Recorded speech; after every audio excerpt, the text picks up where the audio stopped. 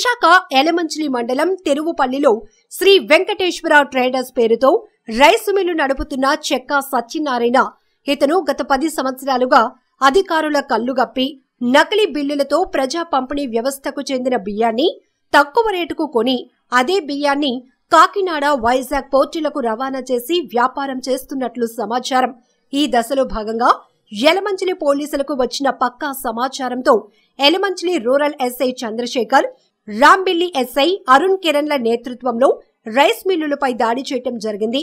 అప్పటికే రవాణాకు సిద్ధంగా ఉన్న నకిలీ బిల్లులతో సిద్ధంగా ఉన్న లారీని అదుపులోనికి తీసుకుని సంబంధిత సివిల్ సప్లై అధికారులకు లారీని అప్పగించారు.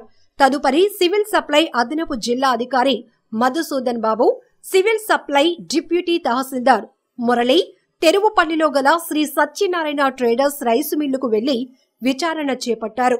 ఈ సందర్భంగా మధుసూదన్ మాట్లాడుతూ మిల్లులో అక్రమంగా నిల్వ ఉంచిన పీడీఎస్ రైస్ మూడు వందల నలభై మిల్లును సీజ్ చేసి ఎస్ రాయవరం మండలానికి చెందిన రైసు మిల్లు యజమాని వెంకటేష్కు జామీను కింద అప్పగించమని అనంతరం పోలీస్ అదుపులో గల లారీ రేషన్ బియ్యాన్ని యలమంచిలి పౌర సరఫరాల శాఖ గిడ్డంగిలో యాభై నాలుగు టన్నుల పీడీఎస్ రైస్ను స్వాధీనం చేసుకునే దాని విలువ ఇరవై లక్షల యాభై ఆరు వేల రూపాయలు ఉంటుందని అంచనా వేశామని జిల్లా కలెక్టర్ దృష్టికి ఈ విషయాన్ని తీసుకువెళ్తామని తెలిపారు.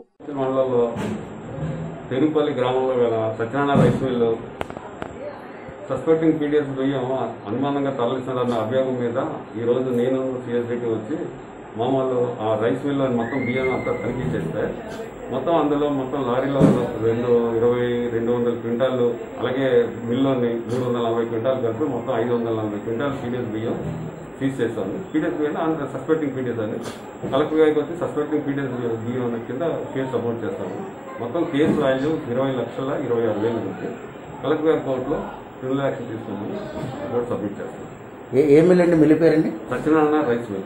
యజమాని పేరండి? యజమాని పేరు సత్యనారాయణ జ్యోతి. చెక్క జ్యోతి. చక్కెర జ్యోతి ఆఫ్ సత్యనారాయణ. నానాజీ. దీని మీద క్రిమినల్ చర్యలు తీసుకుంటారండి? అంటే గతంలో కూడా ఇలా చాలా సార్లు రైడ్ చేశారు కదా? కేసు పెట్టాం. ఇప్పుడు కూడా ఈ కేసు కూడా ఇరవై లక్షల ఇరవై ఆరు వేలు వాల్యూ మొత్తం ఆ. మొత్తం మొత్తం ఎన్ని గంటలు ఉన్నారండి? మొత్తం ఐదు వందల నలభై క్వింటాలు. అంటే యాభై నాలుగు టన్నులు వస్తుందండి. యాభై గంటలు ఓకే థ్యాంక్ యూ